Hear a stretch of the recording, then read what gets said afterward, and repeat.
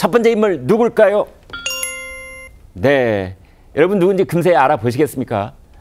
에, 최서원 씨의 조카죠. 어, 장시호 씨 사진을 여러분 보셨습니다.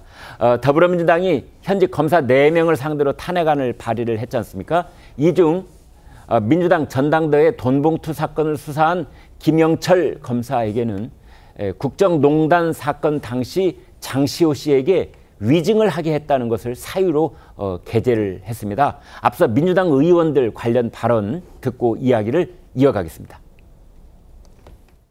이 검사들이 얼마나 간이 부었으면 어떻게 이런 짓들을 아주 백주대낮에 뻔뻔스럽게 예, 저지를 수가 있습니까? 검사인지 깡패인지 알 수가 없습니다.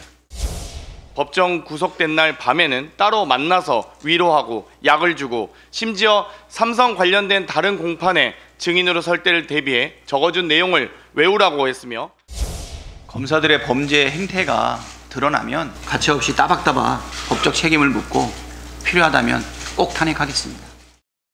자, 방금 들었던 그 영상 중에 장경태 의원은 상당히 구체적으로 뭐 정황을 또 묘사하기도 했는데요. 네. 저거 어떻게 봐야 됩니까? 이 김영철 현직 검사에 대한 결국 가장 중요한 핵심 탄핵 사유 중에 하나가 현직 검사가 장시호 씨가 법정 구속된 날 네. 불러다가 이재용 회장 관련해서 이제 불리한 증언을 하도록 암기를 시켰고 네. 뭐 약도 주고 여러 가지 회의를 했다라는 것이 주된 이 탄핵 사유로 뽑혔습니다. 네. 그래서 공수처에서는 뭘 봤냐? 만약에 정말로 현직 검사가 장시호 씨를 불러서 이런 회의를 하고 어떤 위증을 좀 암기를 시켰다라고 하면 네. 구치소에 수감된 상태니까 당연히 출정 기록이 남지 않습니까? 네. 저도 검사 생활을 하면서 수감된 피의자를 부르려면요. 이게 킥스라는 프로그램에 그 수용번호도 입력을 해야 되고요. 네. 몇 시부터 몇 시까지 면담해야 될지 다 입력을 전산하도록 돼 있습니다. 아. 그렇지 않으면 이게 버스 예약이나 여러 가지가 좀 어렵지 않습니까? 네. 그래서 실제로 이 출정 기록이 장시호 씨가 있는지 봤더니 장시호 씨가 법정 구속되던 날이 2017년 12월 6일이었습니다. 네. 네. 17년 12월 6일부터 이재용 회장 관련한 항소심 법정 증언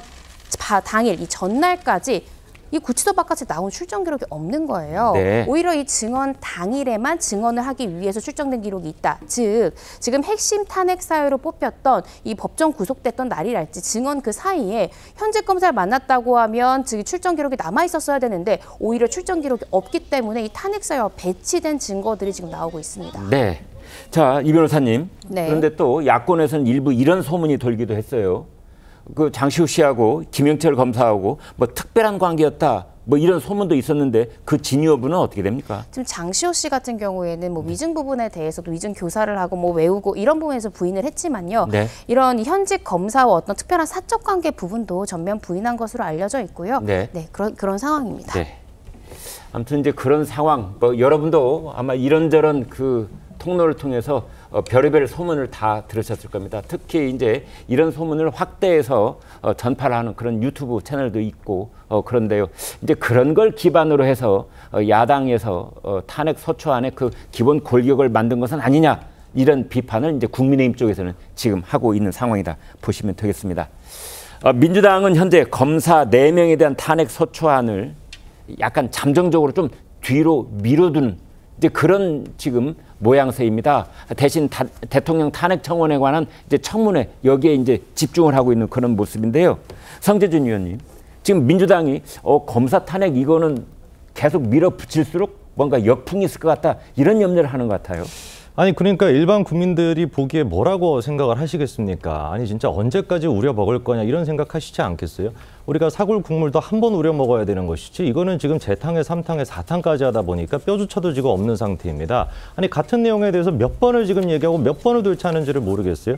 아까 전에 이제 그 도이치모터스에 대해 가지고 하다 하다는 이제 윤석열 대통령의 장모까지도 증인으로 하겠다라고 하는데 아니, 언제까지 도이치모터스 얘기할 겁니까? 아니 도대체 일반 국민들이 도이치모터스에 대해서 왜 이렇게 자세히 알아야 되는지 또 모르겠고 이미 관련돼 가지고 수사가 다 종결이 됐음에도 불구하고 언제까지 이걸 할 거냐는 거죠. 이번에 이제 그 검사 탄핵에 대해 가지고 네 명에 대한 검사 탄핵안 소추안도 또 통과를 시켰는데 어미중 검사 같은 경우는 어떻습니까? 한명수 위중 교사에 대한 내용이란 말이에요. 이것도 지금 재탕의 삼탕이죠 이미 2021년도에 대검에서 관련돼 가지고 감찰을 다 했습니다. 무혐의로 끝이 났죠. 그래 가지고 2022년도에 공수처에다 또 고발하지 않았습니까? 윤석열 검찰 검찰총장이 무슨 뭐 수사 방해를 했다고 그것도 마찬가지로 불송치가 됐습니다. 네. 다 끝난 사안인 거예요. 박상현 검사 같은 경우는 무슨 뭐 하다 하다가 이제는 뭐 변을 어떻게 받아게 됐다는데 저는 진짜 더러워가지고 이거는 평론조차도 하기 싫습니다. 이런 지금 내용들을 가지고 김영철 지금 뭐 검사 같은 경우는 장시호 씨랑 아까 전에 얘기해 주신 것처럼 뭐 사적인 관계가 있냐 없냐 뭐 이런 얘기인데 장시호 씨 본인 스스로가 다 해명하지 않았습니까? 내가 거짓말했다고 내가 내 지인한테 뭔가 조금 있는 척하기 위해 가지고 과장돼가지고 얘기했다라고 사과까지도 하지 않았습니까? 그런 내용들을 가지고서 지금 검사에 대한 탄핵 소추안을 통과시키는데 일반 국민들이 보고 뭐라고 생각하시겠습니까? 제발 좀 과거에 대해 가지고 자꾸 이렇게 가는 게 아니라 미래에 대해 가지고 국민 민생에 대해서 좀 신경 쓰셨으면 좋겠습니다. 네.